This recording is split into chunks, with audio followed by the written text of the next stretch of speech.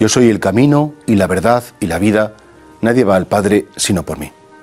Parece mentira que, si lo pensamos bien, que un carpintero de 30 años que cierra el taller y que deja de hacer muebles o puertas o cubos o tejados, que pueda decir de sí mismo, yo soy camino, yo soy la verdad, yo soy la vida.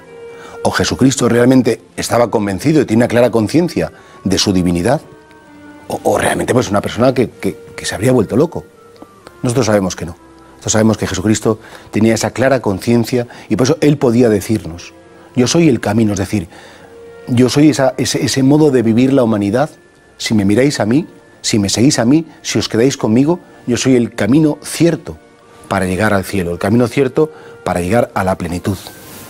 Yo soy la verdad en el sentido de que en mí encontraréis un sentido, en mí encontraréis una razón, en mí encontraréis una explicación en el sentido de un, por qué pasan las cosas en clave de amor eterno.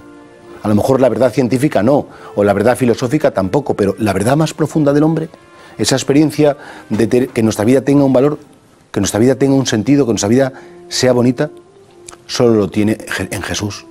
Yo soy la vida, también dice, porque en definitiva, esa vida plena, esa vida eterna, esa vida verdadera, solo la podemos encontrar en Jesús.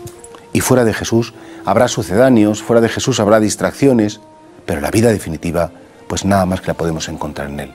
De la manera que Jesucristo se convierte en el eje de nuestra vida. Jesucristo se convierte en el centro de nuestra vida. Todo lo que es bueno, todo lo que es bello, todo lo que es verdadero, todo eso lo encontramos en Jesucristo. O es un reflejo o una imagen de Jesucristo.